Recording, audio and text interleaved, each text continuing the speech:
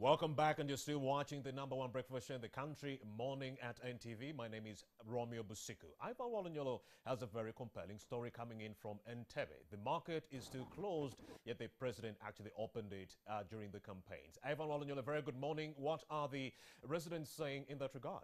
From uh, the streets of Kitoro Market here, at the vendors' street line, the vendors' place where they resorted to after, of course, they were relocated from the uh, initial market where they were working from, and the government started constructing a new, the multi-billion market that we are supposed to uh, have entered by this time after it was commissioned on 5th of January, if I quoted that right. But of course, this is the place where they have resorted to working from, and if you can follow the line, it's early, but then you find it actually congested here by 10 to 11. These people are very many on this street, and uh, we can ask ourselves, they ask themselves that after the president commissioned the market in January, up to this time, they have not entered to use it. Not only the market, but also the tax park. The taxis also load from the roadside. And as we speak, they do not have answers. Why are they not in the market where they were supposed to be working from. Of course, but I want to talk to them and they just tell us, do they know when they're going to be using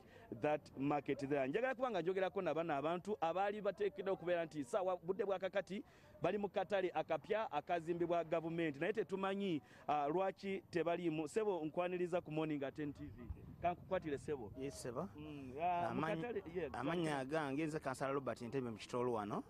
Tuna matooke naye tunamanya lunaku ki lwe tugenda kuyingira katale? Bamaze otuwa emidaala leero bagabira abalina konteina okuyingira akatale nebbanga tetunalimanya bulungi nnyo. Naye tubasaba nga tuyingira akatale batusalye kompooza empooza balugambya mitwalo etaano. Abokonteina mitwalo kumi. Kyetubasaba nga gavumenti kuba akatale ekibadde kirwisaawo enteekateeka eno yonna? Kuba pulezidenti yaggulawo akatale kyetutamanyi kiriwaawo.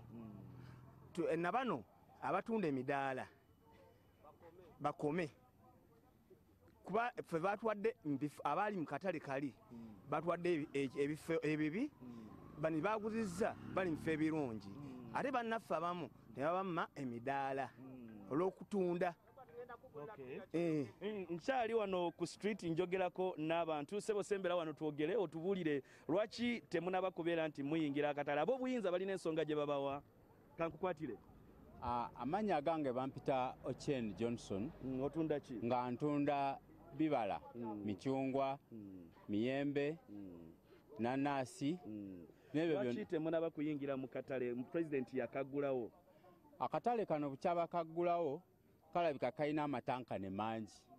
Kubanga abamu, abamu ku basuubuzi twalemeseddwa n'oku- n'okuwandisibwa mu katale. Mm, era ku ssaawa ya leero paka kati nze simanyi wengwa. Mm, nkyali ku streeti sirina ssuubi oba naafuna omudaala. Mm. kubanga naye twawulirako nti abantu baali mu katale kali akakadde muweereddwa omukisa ate kubeera muno. Ate neera ogamba mulimu amatankane amatankane mangi nnyo ssebo. Mm, mangi ddala kubanga mm, fayiro waliwo eziva mu local gavumenti Mm. ate ne wabaawo Mm. ne fayiro enfumbirire eziri mu bakulembeze b'akatale nga ba blaaka okay, okay, okay. Yes, Ah, nkyali ku street wano mu kitoro okubeera nti njogerako n'abantu abatunda ebintu ebyenjawulo abasuubuzi abagibwa mu katale akakadde ne babeera nti badda wano ku street we bakolera kanjogereko ne maama ono atubuulire maama omudaala wafunye omudaala mu katale sinaba kufuna Mm. nange simanyi lwaki? Naye mu- mutegedde ddi lwe muyingira mu katale. Tetunnategeera lwe tuyingira naye era abamu tetunnabafuna. Mm. Eh, naye ab'obuyinza babagamba ki abawuyinza siyinza kulima nti batugamba kino batugamba tujjafuna so kitegeeza temumanyi ddi lwe muyingira mu katale? Tetulumanyi Mm. waawo abantu ku street wano eyoku ey'omu kitoro mu katale.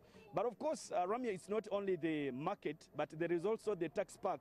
The tax park has been under construction and apparently the taxis load from the roadside. But uh, let me also just talk to the head of these taxis. Naye atubuulire lwaki nabo tebanaba kubeera nti bayingira mu tax park eyazimbibwa uh, gye buvuddeko? Mukulu nkwaniriza ku morning at tv tubuulira amaanya naye ensonga lwaki temunaba kutandika kukozesa tax park? Erinnya kafeero mathias Ah, enteekateeka ya gavumenti pulezidenti yajja naggulawo akatale ne paaka.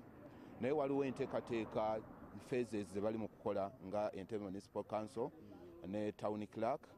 Naye okuva mu january paka kati. Ebintu ebyo ndowooza bigendera mu procedures procedures zebakozesa nga gavumenti okulaba abantu engeri gye bagenda obaloketingamu mu bintu ebyo n'okutambula mu mirembe emituufu.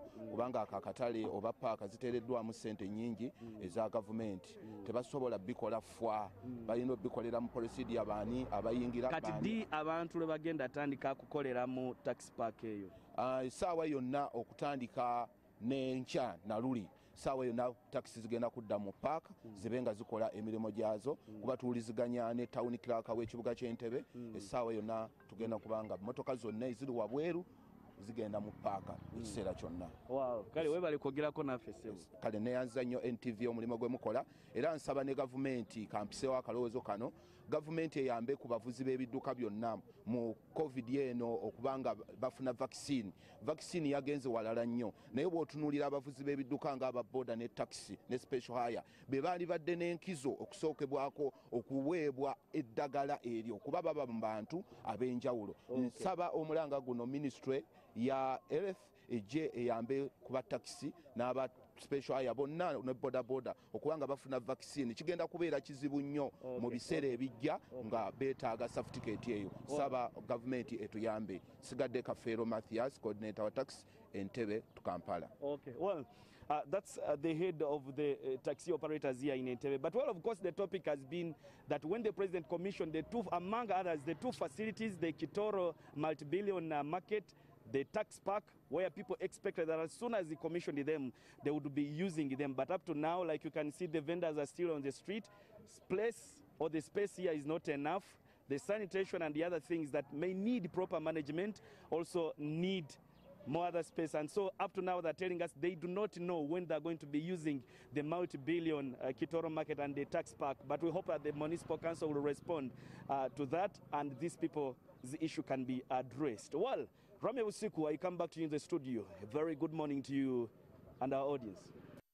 Thank you very much, Ivan Walanyolo, and I'm highly optimistic that that issue will be rectified. The issue of Chitoro Market, it will be open, and the residents will go about with their business, and also the taxi park within the jurisdiction will also be worked on. Just a semblance of patience shall go a long way in solving the tensions we are seeing right now. My name is Romy Busika, and of course, to all the kings, queens, boys, and girls who are celebrating their birthdays on this particular day, be cognizant of the fact that COVID 19 is